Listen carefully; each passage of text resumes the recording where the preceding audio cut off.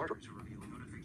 Alright, hello everyone. I am uh, uh, Blind Robot. I am on the YouTube channel, and um, I will be holding today's video. I have my iPhone SE second generation, and um, I will be uh, showing you how to send text messages and emails today. So um, let's get started with this, and um, I can show you both ways how to send text messages with Siri and uh, how to do it with your uh, dictation or with your keyboard. So that's both ways on how to do it. So uh, let's get right into it and dive into this video. One announcement without further ado, I am getting a computer in a month so we can do uh, some JAWS demos and all that uh, grand things. So let's get started with it. Alright, I'm going to unlock my iPhone SE second generation um, in front of me.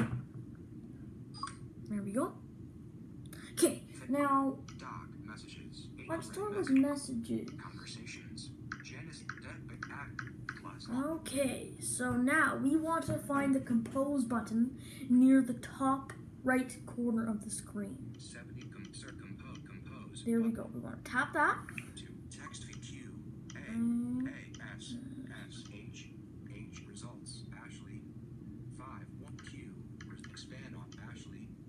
2, added Go, recipient okay.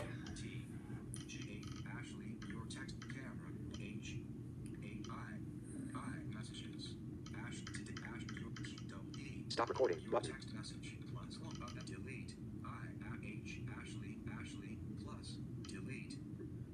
H A A results Ashley add contact to add results Ashley two two six. Okay, added I have it there. Mes- me- T stickers message text message text field. There we go. Now we're in the text message text field. Cap G cap H cap I I I hi send button. send. There we go. Now email. Text feed doc. Mail 236 unread emails. Okay, I double tapped on my mail. One finger double tapped after I selected it. Now I'm gonna find the compose button. This time it's near the bottom of the screen.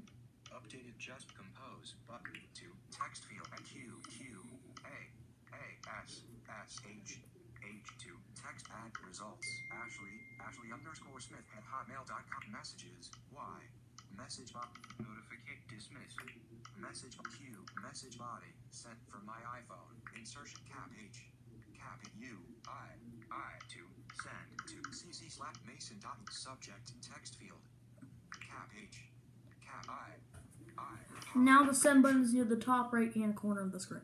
Send button. There we go. I send a message with email. And that's all our videos for today. Thank you for watching.